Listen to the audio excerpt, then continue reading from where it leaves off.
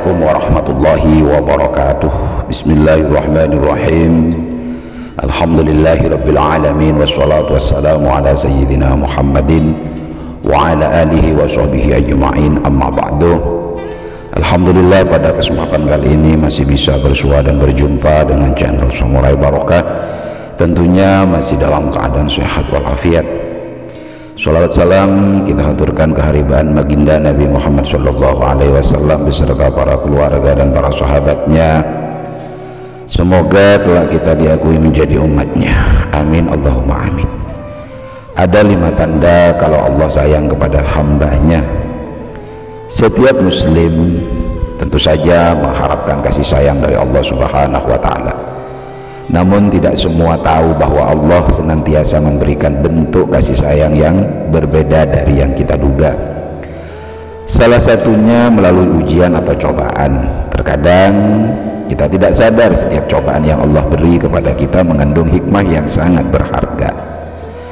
Namun kita sering khilaf dan cenderung mencela berbagai cobaan yang kita alami seolah hal tersebut merupakan tanda Allah tidak peduli kepada kita Padahal jika kita pahami kembali banyaknya ujian yang Allah beri kepada kita merupakan bentuk kasih sayang Allah kepada hambanya. Adapun hikmah yang bisa kita ambil adalah bahwasanya Allah ingin kita menjadi pribadi yang lebih kuat dan lebih mengingat kepada Allah. Saat kita tertimpa bencana, terkadang kita tidak sadar bahwa setiap cobaan yang kita alami selalu ada hikmah di baliknya kita bahkan lupa dan mengumpat dengan apa yang kita alami. Seolah-olah kita adalah makhluk yang paling menderita. Dari Abu Hurairah radhiyallahu anhu Rasulullah shallallahu alaihi wasallam bersabda apabila Allah mencintai seorang hamba maka Allah menganggil Jibril. Seraya berfirman sesungguhnya Allah taala mencintai fulan maka cintailah ia Kemudian Jibril mencintai orang itu dan berkata pada penghuni langit, Sesungguhnya Allah Ta'ala mencintai fulan, maka cintailah ia. Penghuni langit pun pada akhirnya mencintai orang yang Allah cintai. Setelah itu kecintaannya diteruskan kepada penghuni bumi. Hadis riwayat Imam Bukhari Muslim. Ternyata ada beberapa kejadian yang bisa menjadi petunjuk bahwa hal itu adalah bentuk kasih sayang Allah kepada kita para sahabat channel Samurai Barokah. Para pecinta amal kebaikan jangan lupa like dan subscribe untuk channel Samurai Barokah. Terus aktifkan lonceng notifikasinya agar selalu mendapatkan info edukasi islami. Ada lima bentuk kasih sayang Allah kepada kita sebagai hamba Allah subhanahu wa ta'ala. Satu dibukakan pintu amal soleh sebelum kematian dalam salah satu hadis Rasulullah mengatakan, apabila Allah menginginkan kebaikan pada seorang hamba, Allah akan jadikan ia untuk beramal. Dikatakan, apakah dijadikan beramal itu? Beliau bersabda, Allah Subhanahu wa taala bukakan untuknya amalan soleh sebelum meninggal dunia sehingga orang-orang di sekitarnya ridho kepadanya. Hadis riwayat Imam Ahmad dan Al-Hakim dua diberikan kesedihan.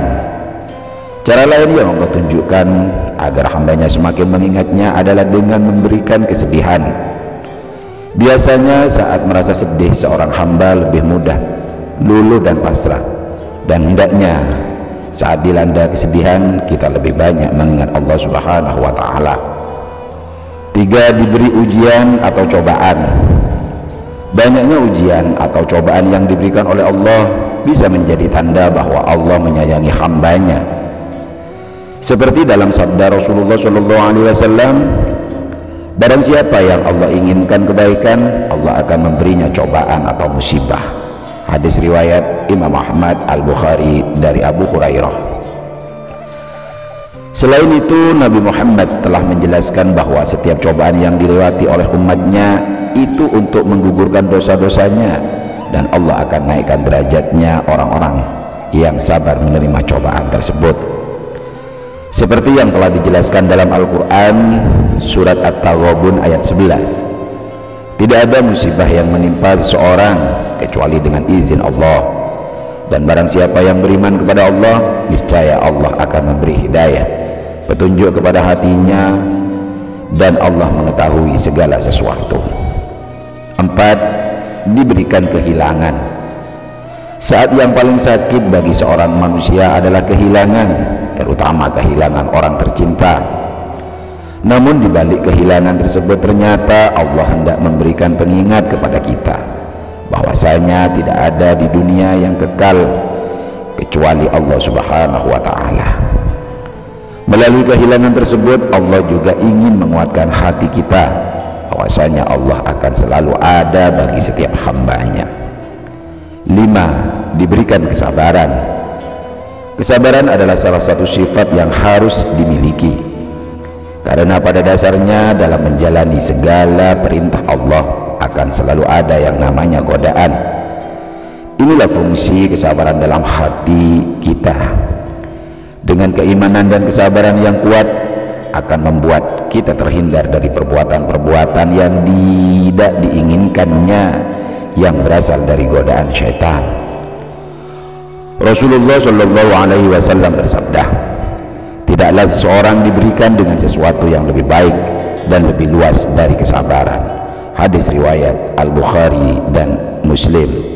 Para sahabat channel Samurai Barokah yang dirahmati Allah semoga kita termasuk salah satu hamba yang mendapat kasih sayang dari Allah subhanahu wa ta'ala.